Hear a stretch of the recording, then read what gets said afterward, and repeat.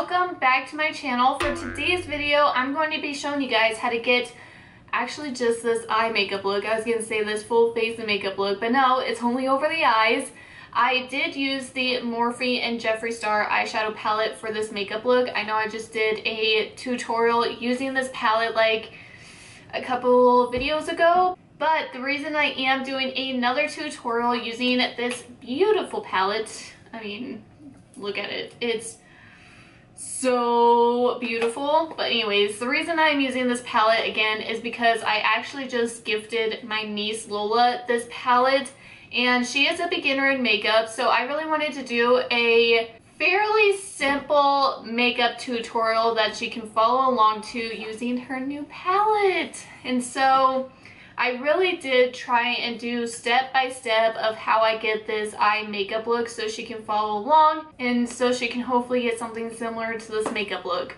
I know it's not like a one and done eyeshadow makeup look. There's still blending, there's still like step-by-step process, there's still eyeshadow building up and stuff like that. It's not just a really, really simple eye makeup look. I don't even know if I can do that in this time of my life anymore just because I'm so used to building and blending and just like layering makeup and stuff like that, but I really did try to do step by step at least so she can easily follow along. It's not super simple, but it's not super difficult as well. So I thought it'd just be the perfect makeup look for everybody to follow along and I'm obsessed with it. Matt and I are going on a date, so I did get a little dressed up. But yeah, I hope you guys enjoy this makeup tutorial. Please make sure to subscribe down below for me and let's get into it. Alright, so the first thing you want to do is prime your eyelids. So either you want to use an eyeshadow primer or a concealer, whichever works for you. I personally use an eyeshadow primer because I have very oily eyelids and I have hooded eyes so my eyeshadow creases terribly when I use concealer. So my favorite is the P. Louise base and this is in the shade Rumor 2. The first time I used this, I'm like, oh my god, this is like so thick. Like, this is going to crease terribly on me. And it does. But I have to set it right away, which I will be showing you guys as well. But I just take like, that's all I use. I don't use that much because you really don't need that much. Just go in with a little tiny bit. And I put this all over my lid and I actually blend it up to my brow bone because I want to cover up all of my veins that is on my eyelids and all that pigmentation that's on my eyes.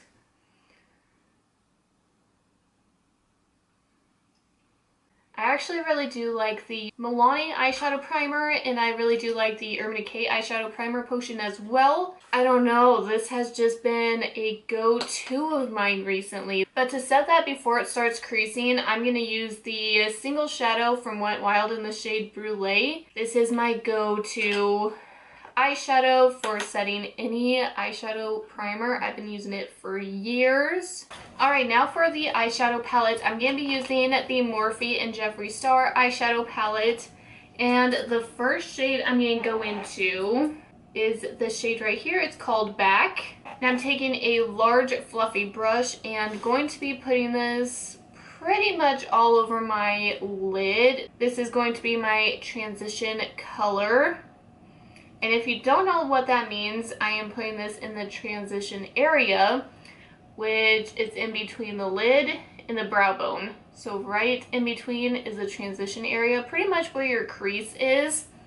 So I'm mainly putting it right there, but I will take it a little bit above and a little bit on my lid. A transition color is how you get your eyeshadow to look smoky and like an ombre finish it just helps all the rest of the colors blend better. So you're not necessarily going to see this in the end, but it does give that ombre effect up by the brow bone. And you can pack this on as much as you want, just depends on the intensity that you want. I'm not going to overpack it. I do want it to show up on my skin though, because it is a lighter pink. So I am packing it on just a little bit. Now I'm going to go in with a little bit of pink fleet right here. I'm going to be taking a little bit of a smaller fluffy brush. It's still a fluffy brush, but just not as big because I will not want to bring this shade up as high. So I'm still putting it in my transition area in my outer corner. This is called the outer corner or the outer V and this is called the inner corner or inner V. It just depends but you can say either one. So I'm going to be blending it into my crease and the outer V. Keep in mind, I'm not taking a lot at once. I'm literally dabbing it into the shadow and I'm kind of like tapping it off or you can tap it off on your desk or mirror or whatever. You just don't want to go in with full pigment because then it's not going to blend out as easily. Getting it to your shade but building it up is a lot easier and will blend out a lot easier for you.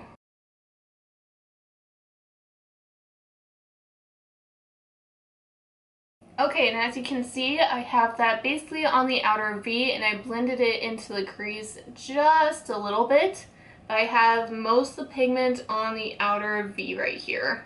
Alright, now I'm going into a different brush again, and this is still a little bit of a fluffy brush, but it's also kind of like a pencil brush. It's going to pack on the outer V shade really well because it's nice and precise. So now I'm going to go into the shade Calabasas right here. It's kind of a darker maroon shade. Just dip your brush in that, tap it off because you don't want a whole bunch of pigment, remember. Just building it up slowly is better than packing it on right away. So I am just packing this on my outer V, keeping it nice and low. I'm not planning on bringing this above the crease, okay? I'm bringing that to about middle of my eyelid. And just blending it out the edges a little bit because we still don't want any harsh lines. What I do is I do like tapping motions all over the lid and then once you get to the crease I do blending motions just back and forth like a windshield wiper. Remember those days windshield wiper motions. Mm, yes, I love this combination. Maroons are like my favorite to wear. I feel like they really just bring out blue eyes. But don't get me wrong, you can wear this whatever color of eyes you have. I just personally really like it with my blue eyes. And if you get a little messy on the outer corners or if you have like fallout, it's okay, that's why I'm doing my eyes first. That way I can go and clean up the fallout and clean up these edges once I'm all done with my eyes. So now I'm going to go back into back right here. Such a funny name, but I mean, I promise it makes sense when you look at the palette. But anyways, I'm taking the first fluffy brush I ever went into and I'm using this to just blend out that color. Because we don't want any harsh lines and honestly I'm barely touching my skin with this okay? I go into the color I tap it off. I'm just feathering this along that darker shadow. Because that is what's going to give you that ombre effect. Alright I just cleaned up the outer V a little bit just made it a little bit sharper Of what I do is you can take a Kleenex or a makeup wipe and I just go like at an angle and I lift up and it's like a sharp cat eye.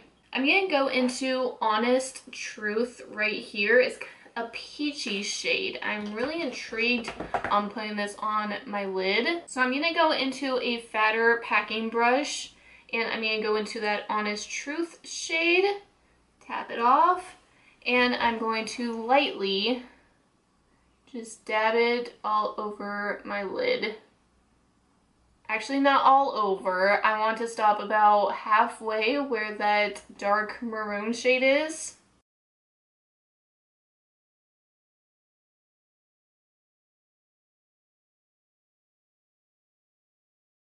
Alright, and to put some more shadow on the outer corners, I'm going to go back into Calabasas, that dark maroon shade, going back into that pencil brush, packing it on the outer V and slowly bringing it into the middle of your eyelid so those two shades can meet and just like wash together. I really do love an all matte eye. I think it just is so beautiful. Alright, can you tell that it goes from like that peach to light pink to like that dark maroon? so beautiful! I am like really digging this all matte eye right now. It's just so romantic and so beautiful. So I'm going to go off camera, do my face makeup, and I will be right back to do my lower lash line. Alright, makeup is complete. So now we're going to just finish up our lower lash line. I'm going to go into Calabasas right here. And I'm going to be using a stiff brush. I don't know how well you can see it. I'm going to be using that and applying this all along my lower lash line.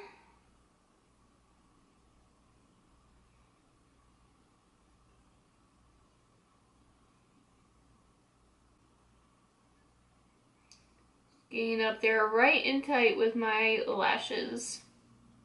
Alright, now I'm going to go into a kind of a dense fluffy brush. It's pretty flat, but it's still pretty fluffy.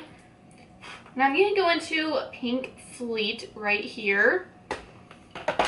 And I'm just going to take that shade and just buff out the lower lash line.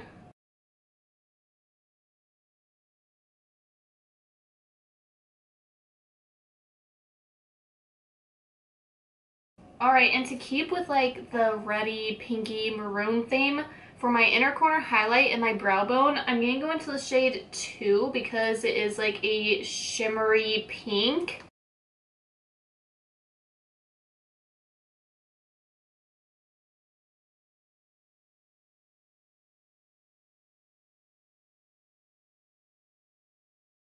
Alright, now I'm going to put on some lower lash mascara, and if you can't tell, I did put on falsies, but you don't have to put on falsies. I just put on falsies because Matt and I are going out on a date, and I love wearing falsies when we go out because I never wear them during the week when I'm at work. So it's just kind of like an extra little step that I like to do when I'm going like full face and we're going out, so yeah, don't feel the need to do falsies, but I just wanted to. Alright, now that the face is completely complete, I'm going to go change and do my hair, and you will see the finished look. Alright, so this is the finished look. I hope you guys really enjoyed it.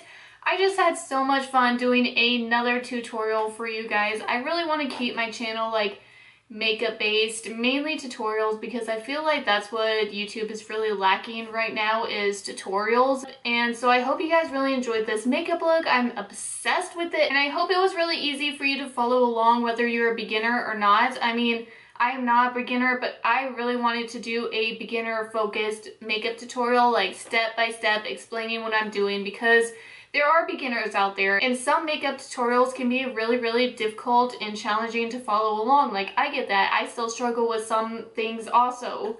So I hope you guys really enjoyed this all matte smoky eye. I'm obsessed with it, but these shades are like my favorite. But yeah, I hope you guys enjoyed this makeup tutorial. Please make sure to give me a thumbs up, hit that notification bell, and subscribe for me down below. And I will see you guys in my next video. Bye!